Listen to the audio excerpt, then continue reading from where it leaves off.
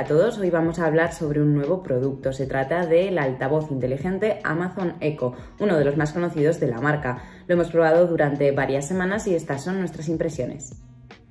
Hace unos días ya os hablamos de Codot, es el hermano pequeño de la marca y como podéis comprobar se nota bastante la diferencia en el tamaño. Esto implica también ciertas diferencias en cuanto a la tecnología que llevan dentro, que dentro de un poquito vamos a ver. Vista la diferencia de tamaño con su hermano pequeño, vamos a hablar del Eco, que es el que nos ocupa hoy. Como podéis comprobar, la forma, el diseño es el mismo. Amazon ha presentado este nuevo diseño en forma esférica para todos sus altavoces inteligentes Eco eh, de 2020, tanto el Echo Dot, que es el que visto, como el Echo Dot con reloj. A nosotros el diseño nos gusta mucho, no solamente porque es más estético, porque esta forma esférica es más bonita, sino porque además también al tener esta forma es un poquito más grande y por lo tanto cabe un poquito más de tecnología. Es decir, estamos hablando de que la firma ha mejorado algunas cosas del sonido y algunas cosas de la ingeniería interna del altavoz. ¿Qué significa esto? Mejoramos en conectividad y mejoramos en sonido. Esto es lo que dice la marca y esto es lo que realmente hemos podido comprobar. Eso sí, mantenemos el mismo precio que teníamos en la generación anterior. Amazon sigue vendiendo este dispositivo Eco a 99,99 euros. Nosotros hemos probado el dispositivo en antracita, pero también está disponible en otros colores como en blanco y el azul del Amazon Echo Dot que ya os habíamos enseñado. Además, ahora Amazon ha sacado una edición especial en rojo que colabora en la lucha contra el SIDA donando 10 euros de cada dispositivo vendido.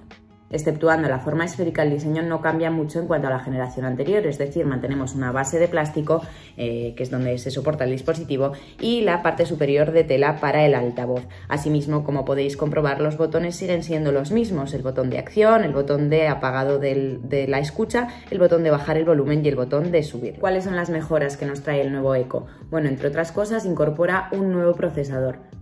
Según la marca, gracias a este nuevo procesador, los Eco gastan 20 veces menos de potencia, procesan dos veces más rápido las conversaciones y consumen un 85% menos de memoria. Este chip permitirá al Eco procesar solicitudes en el propio dispositivo en lugar de en el cloud de Amazon y responder así más rápidamente a tus peticiones, pero aún no está activo.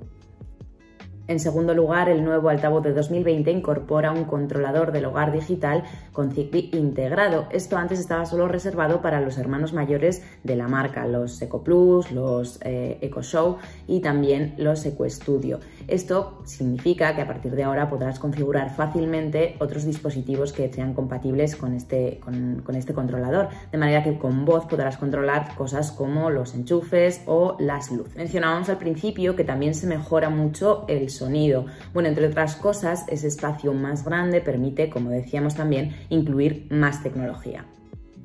Los Eco de 2020 cuentan con un buffer de neodimio de 76,2 mm para reproducir frecuencias medias y graves y dos tweeters de 20 mm para los agudos, uno más que el mismo altavoz de generación anterior e incluso también uno más que uno de los hermanos mayores de la familia, el Eco Plus. Este segundo Twitter lo que consigue es mejorar la direccionalidad del sonido y hacerlo realmente estéreo, un sonido envolvente que, según las especificaciones, es audio Dolby, una característica que también es una novedad del modelo de 2020 con respecto a sus predecesores. Último apunte con respecto al sonido, el eco puede detectar la acústica de los espacios y adaptar la reproducción con respecto a los mismos es decir, llena la habitación bastante, bastante bien y se ajusta a esas medidas o a ese espacio en el que está. Nuestra experiencia acústica ha sido muy buena y el altavoz es perfectamente capaz de llenar una habitación con sonido el solito. Esto es así tanto con música como con los podcasts, como con cualquier contenido que quieras escuchar. Para terminar, un par de apuntes bastante positivos. Nosotros hemos probado Echo con otro altavoz también, con el Echo Dot, como os hemos enseñado, y esto tiene pues algunas ventajas. Por ejemplo, puedes escuchar música en toda la casa porque si los tienes distribuidos en diferentes estancias, eh, la verdad es que eh, puedes reproducir lo mismo en todos los altavoces. Por último, una cosa que nos parece muy destacable es que es tecnología para todos. No hacen falta conocimientos avanzados, ni mucho menos, para eh, instalar o para, para manejar este dispositivo. Su configuración es muy sencilla, apenas en unos pocos pasos, y también su uso posterior. En este mismo sentido, la aplicación es muy intuitiva y la usabilidad es muy correcta. Esta característica nos parece muy relevante en unos tiempos como los que nos ha tocado vivir, en los que estar conectados digitalmente es tan necesario porque, por desgracia, pues no podemos hacerlo de forma presencial. Tal vez el punto que menos nos ha gustado no tiene tanto que ver con el dispositivo en sí como con su cerebro. Alexa, mm, bueno, se queda un poco plana no es solo ella, la verdad es que para nosotros todos los asistentes virtuales todavía tienen un largo camino que recorrer. Es decir, sí nos ayudan, son serviciales y casi siempre casi siempre aciertan, pero muchas veces les damos una orden y no nos entienden. Esto es normal dado que todavía queda pues bastante que avanzar en este campo. Eso es todo. Si queréis saber más sobre tecnología, noticias del sector, dispositivos y todo tipo de cacharrillos, podéis hacerlo como siempre en nuestra sección de tecnología. Asimismo, si queréis estar informados semanalmente, podéis apuntaros a nuestra newsletter.